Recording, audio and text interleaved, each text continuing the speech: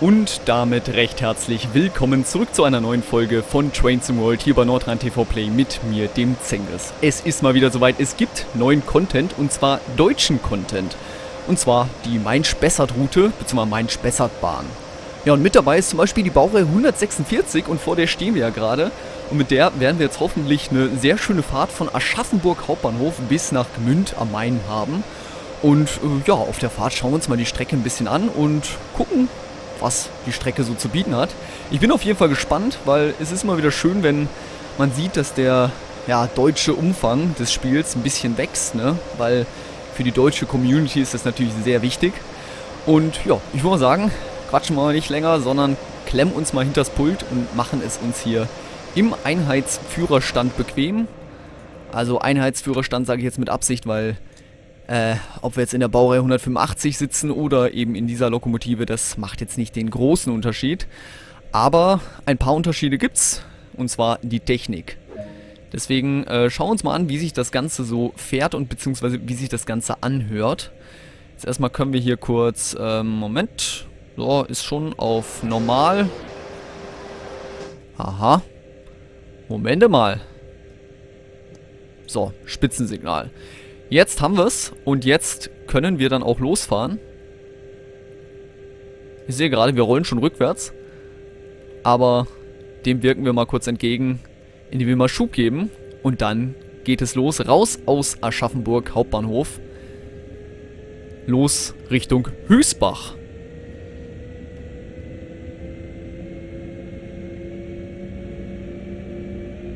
So, ich habe die AFB jetzt gerade nicht aktiv, aber naja, belassen es mal dabei.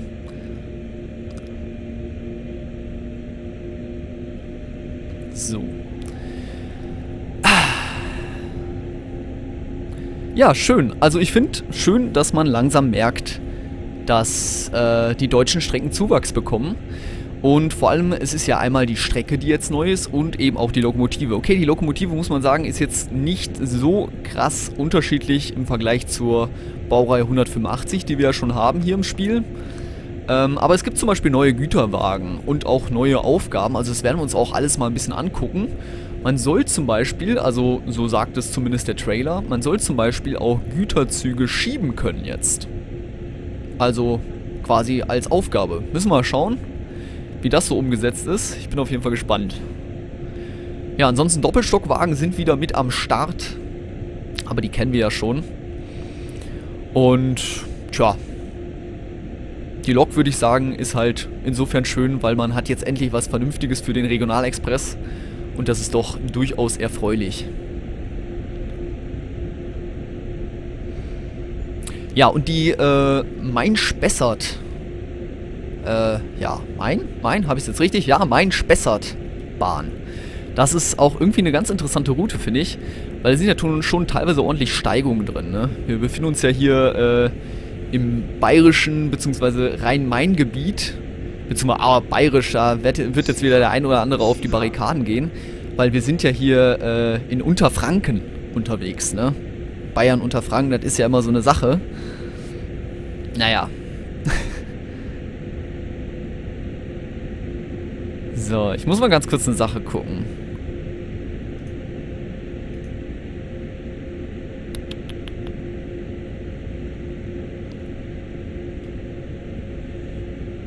Und zwar soll es jetzt auch Zugzielanzeigen geben, aber... Hm.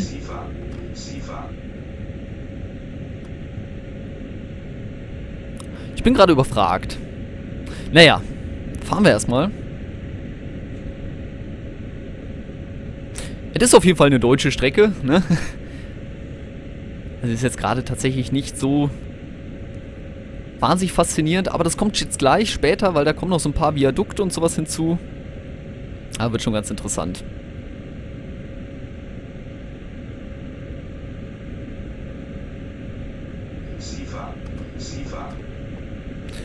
Ich frage mich eigentlich, was da rechts mir für eine Geschwindigkeit gerade angezeigt wird. Da wird irgendwas mit 100 km/h angezeigt. Jetzt geht es auf 140 runter. Sehr faszinierend auf jeden Fall. So.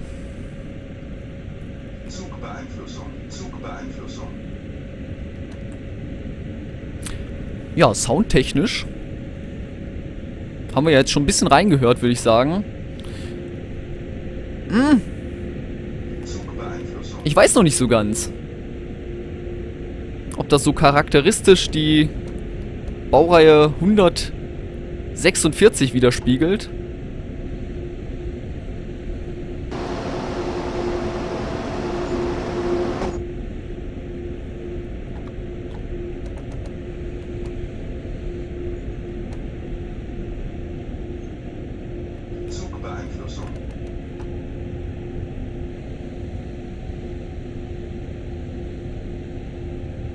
Weil ich meine, die Baureihe 146, die heult ja auch so ein bisschen schön vor sich hin. Also ich finde das ja ganz angenehm. Aber das höre ich hier jetzt gar nicht so dominant, finde ich. Hm. Sifa, Sifa.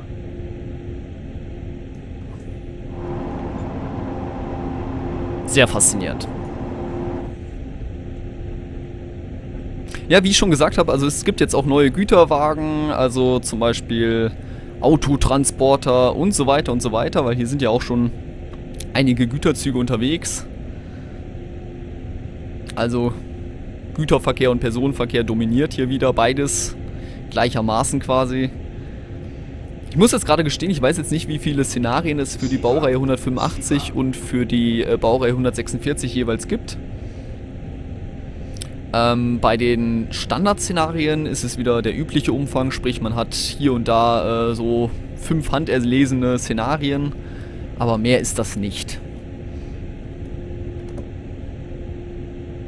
So, was mir wieder auffällt, irgendwie ist das ganz interessant. Also man hat hier in Trains World alle Einstellungen vorgenommen. Zum Beispiel, dass unten nicht mehr diese komischen Wagen Positionierungshilfen äh, sind, und dann installiert man ein neues DLC und weg sind sie alle. Finde ich irgendwie komisch. Hm. Na gut. So. Bringen wir jetzt doch mal hier zum Stillstand. Und dann wieder auf mit den Türen.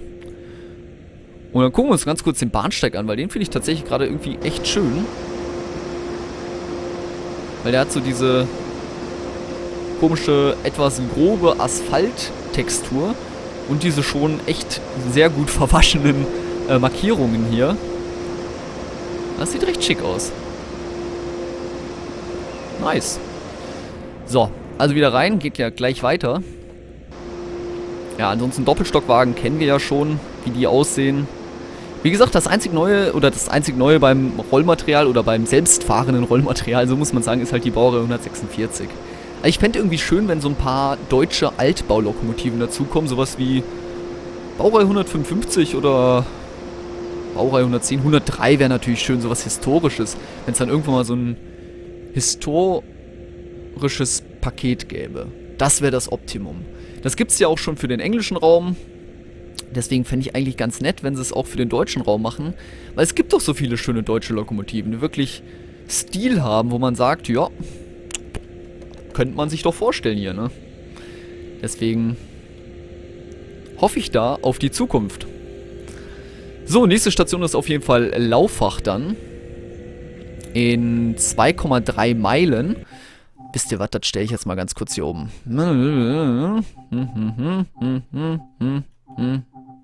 Wo habe ich es denn? Hier, Imperial. Metrisch. Und dann stellen wir nämlich noch hier Markierung aus, Markierung aus. Äh, aus. Alles aus. So, jetzt passt's. Ja, so müsste es passen. Und jetzt ganz wichtig, anlegen, weil sonst ist es weg. So. Und jetzt ist es nämlich alles ein bisschen übersichtlicher und schöner, finde ich. Also es ist geordneter und minimalistischer, weil ich mag es nicht, wenn die ganzen Informationen so hier die ganze Zeit im Sichtfeld rumschwirren. Das stört irgendwie das Gesamtbild. So. Jetzt wissen wir auf jeden Fall, die PZB tut's auch. Wir waren nämlich gerade definitiv über 40. Es war nur kurz, aber das hat gereicht.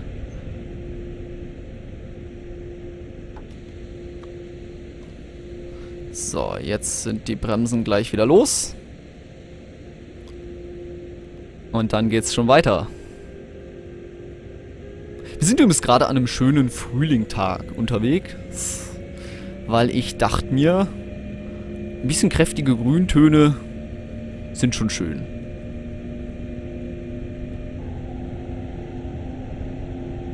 So, hier sieht man übrigens was sehr Schönes, und zwar die Kurvenüberhöhung. Die ist wirklich äh, sehr schön dargestellt. Und ich meine, wenn man sich überlegt, äh, wie man hier beim Train Simulator angefangen hat, also äh, die ersten Strecken, Kurvenüberhöhung, was ist das?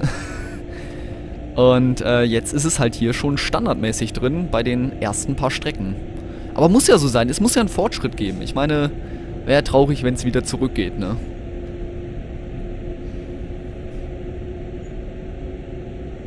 So.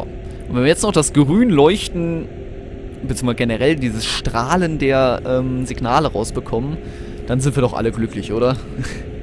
nee, ich finde tatsächlich, es sieht schön aus, es fährt sich schön. Ich finde, der Sound könnte noch ein bisschen intensiver 146er sein. Ich weiß nicht. Könnt ihr mal in die Kommentare schreiben, wie ihr das seht. Ähm, weil ich finde, da fehlt irgendwie noch eine Nuance die das Ganze schön macht, beziehungsweise irgendwie kommt es gerade nicht so authentisch rüber.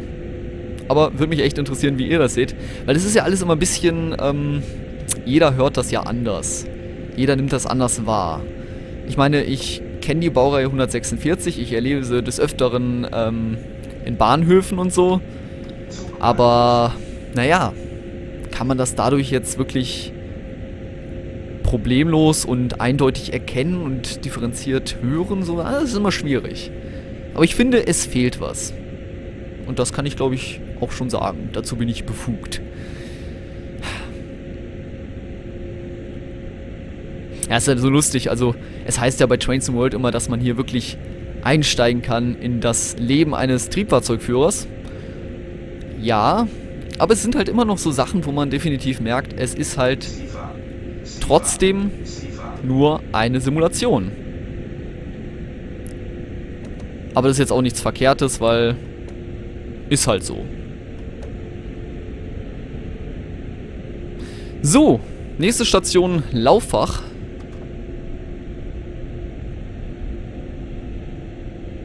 Ansagen wären halt noch schön. Also Zugzielanzeige soll es hier jetzt geben. Allerdings ähm, weiß ich gerade, um ehrlich zu sein, nicht, wo ich die hier einrichten soll.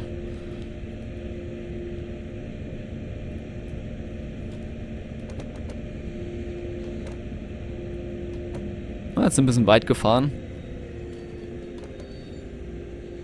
Aber sollte passen. So, jetzt ganz wichtig, Türen auf der linken Seite verriegeln. Das ist immer noch eine sehr nette Sache, finde ich, dass man hier das wirklich manuell einstellen muss. Weil sonst gehen die Türen halt auf der falschen Seite auf und alle ärgern sich. So, jetzt gucken wir aber nochmal hier. Ist nicht hier irgendwo... Ach, da oben! Ich Depp. So, Moment mal kurz. Nicht einsteigen.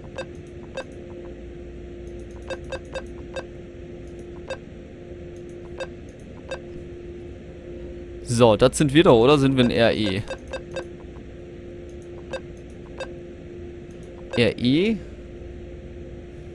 nach Würzburg? Ja, machen wir RE nach Würzburg, dann fahren wir halt nur bis nach Gmünd und dann geht er halt weiter nach Würzburg.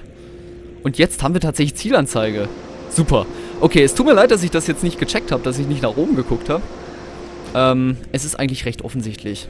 Ja klar, da oben. Dieses kleine Instrument ist auf jeden Fall die Zugzielanzeige. Das heißt, alles mit am Start, was am Start sein soll. Sehr schön. Weil das ist tatsächlich eine Sache, die äh, hat einigen wirklich sehr gefehlt. Und das zu Recht. Weil ich finde, das sollte schon drin sein.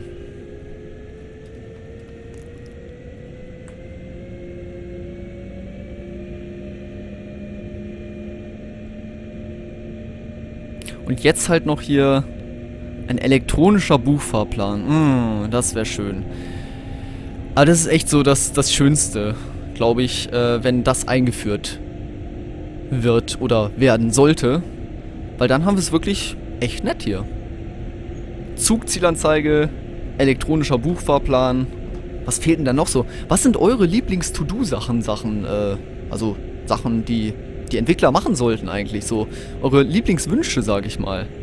Das würde mich mal interessieren, weil mir fehlt zum Beispiel eine vernünftige Ebola-Integrierung. Also sprich, dass man einfach das Spiel hat und direkt eine, äh, einen Fahrplan hinterlegt hat. Gerade bei diesen Standardstrecken, also die Strecken vom Entwickler, wenn jetzt der äh, Entwickler von irgendeiner Freeware-Strecke jetzt nicht unbedingt Lust hat, sowas zu entwickeln und sowas zu integrieren, das kann, kann ich verstehen irgendwie. Aber gerade bei solchen Strecken hier, die wirklich äh, vom Hersteller selber, also vom, vom Entwickler selber stammen, da fände ich es schon cool, wenn man einfach direkt einen elektronischen Buchfahrplan da hätte. Ja, das wäre so mein Wunsch. Hm. Und es gibt die Displays ja und man kann auch die Tasten bedienen. Das ist es halt so, ne? Das ist so ein bisschen, es ist alles da, aber letztlich dann doch nicht. Äh, ich bestätige übrigens fast alles, weil bestätigen macht frei, ne? Also, nee, das ist jetzt Quatsch, aber es ist tatsächlich so, dass ich recht viel bestätige und äh, zwar nur, weil ich einmal gehört habe von einem Lokführer, äh, Frei nach dem Motto, man kann dann auf jeden Fall nachweisen, dass man es gesehen hat. Ne? Weil letztlich kann man dann im Nachhinein sagen, auf jeden Fall, wenn dann irgendwas passiert und dann heißt es so, ja, sie haben das Signal ja nicht gesehen. Ah, Moment, ich habe es bestätigt. Auf der anderen Seite kommt es natürlich auch komisch rüber, wenn man wirklich alles bestätigt, weil dann könnte man ja auch meinen, so, ah, der hat vielleicht gar keine Ahnung, was er da gerade tut. Der bestätigt ja wirklich ausnahmslos alles. Naja,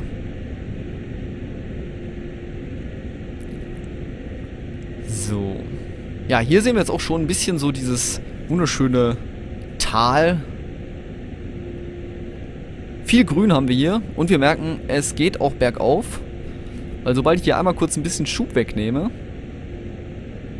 dann geht die Geschwindigkeit sofort runter. Sowas finde ich unnötig. Ich will keine Belohnungssysteme hier in einem Simulator haben. Ich weiß gar nicht, Steht ihr darauf? Braucht ihr ein Belohnungssystem in einem Zugsimulator, der euch sagt, yo super, herzlichen Glückwunsch, ihr seid 14, noch was Kilometer gefahren? Weiß ich nicht. Brauche ich nicht. Zugbeeinflussung. Zugbeeinflussung. Brauche ich halt echt nicht. Naja. Hätten sie ein bisschen dezenter machen können. Wenn es jetzt irgendwie rechts unten aufgeplöppt wäre, dann hätte es mich nicht gestört. Dann wäre es halt da. Aber so ist ein bisschen krass auffällig und ein bisschen krass störend, finde ich. Naja. Gut. Ah, ich verstehe es tatsächlich nicht, warum man da so einen Wettbewerb rausmachen muss.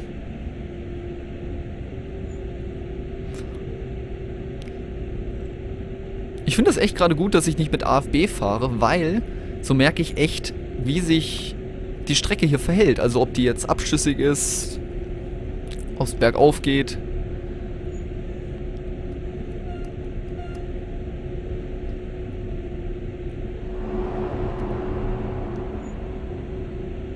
Man kriegt halt echt ein Gespür dafür.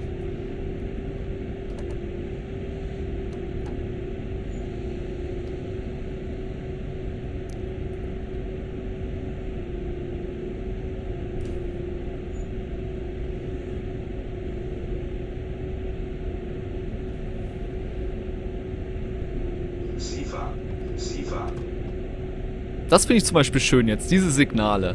Weil das ist etwas, was die Strecke dann besonders macht, ne? Weil sowas haben wir jetzt bei den anderen Strecken jetzt nicht gehabt.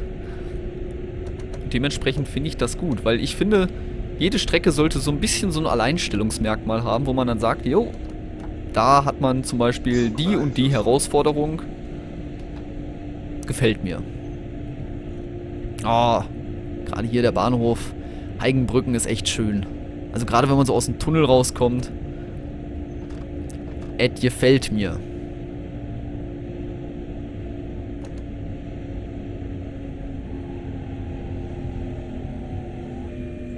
Ja, da hört man jetzt zum Beispiel ganz klar Baureihe 146.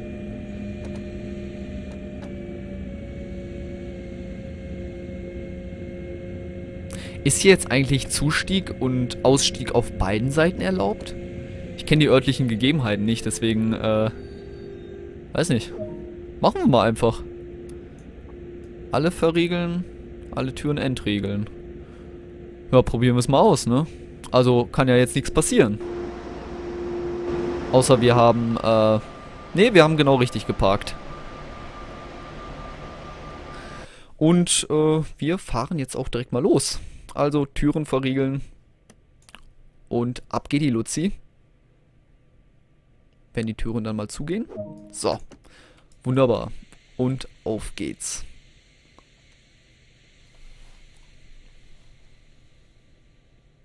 Na, warum will er denn nicht?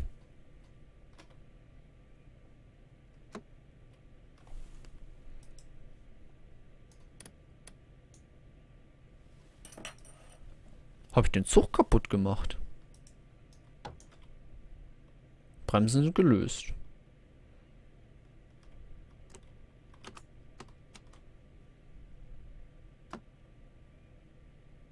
Hm. Hängt auch am Saft. Aha. Et voilà. Auf geht's. Sehr schön.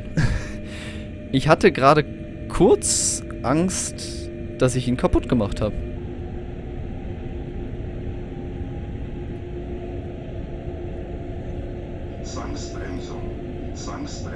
Oh. Ja, ähm... Ich hätte sowieso noch nicht anfahren dürfen. Wird mir gerade bewusst. Hm.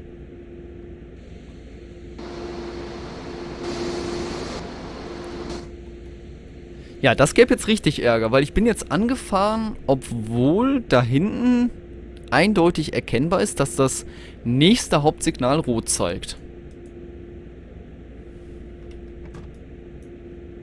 Hm.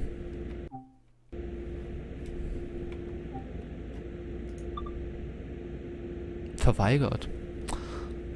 Ja gut. Ähm.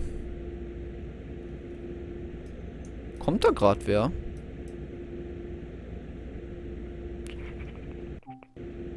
Hm, hm, hm. Das ist jetzt mysteriös. Schau mal kurz. Tatsache, es ist rot. Können wir mal hier so ein bisschen um die Ecke gucken. Aber da kommt doch nichts. Da ist das nächste auch rot. Haben die uns jetzt echt die Fahrstraße dicht gemacht oder was? Wäre schade. Ja, wir sehen auf jeden Fall, äh, wir schlängeln uns hier gleich noch schön durch, aber... Äh... Puh. Was? Oh, ich dachte gerade schon. Puh. Ich habe gerade einen Schock bekommen. Äh, die Wagen wurden noch nicht geladen, weil ich bin so weit weggegangen, dass er den Zug schon ausgeblendet hat, um eben Rechenleistung zu sparen. Ja, und dann hat man halt den Salat.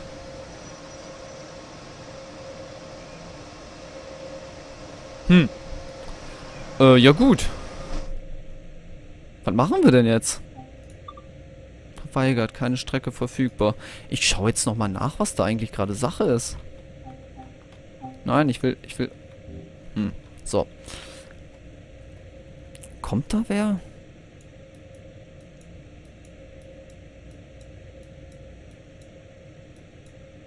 Nö.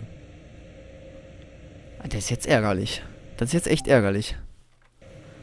Das heißt, alles ist frei. Aber wir dürfen nicht. So, jetzt... Ich fahre jetzt einfach mal vorsichtig bis zum Haltesignal und schau mal, ob irgendwas passiert, weil ich glaube tatsächlich, dass es sich hierbei um einen Bug handelt. Und nun? Und nun? Verweigert. Keine Strecke verfügbar. Das Blöde ist, die Strecke ist komplett frei. Och nee. Ich mach's nur ungern, aber ich wollte eigentlich die Strecke zeigen. Also von daher, ähm...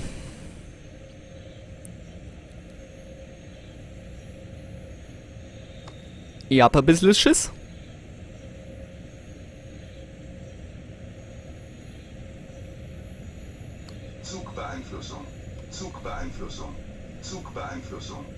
Zugbeeinflussung.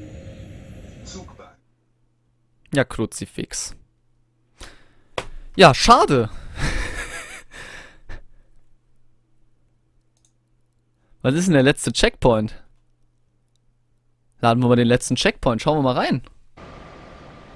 Ja gut. Dann würde ich sagen, äh, dann äh, war's das an dieser Stelle. Was ist das? Achso, das ist oben von einem Masten. Das ist übrigens eine ekelhafte Unterführung hier. Also da möchte ich nicht nachts durchrennen. Äh, kriegt man ja Angstzustände. Ja gut. Dann war's das an dieser Stelle. Autotransporter-Szenario beginnen. Nee, das wollen wir jetzt gerade nicht. Äh, schauen wir uns in der nächsten Folge mal was anderes an, ne? Also, bis dahin.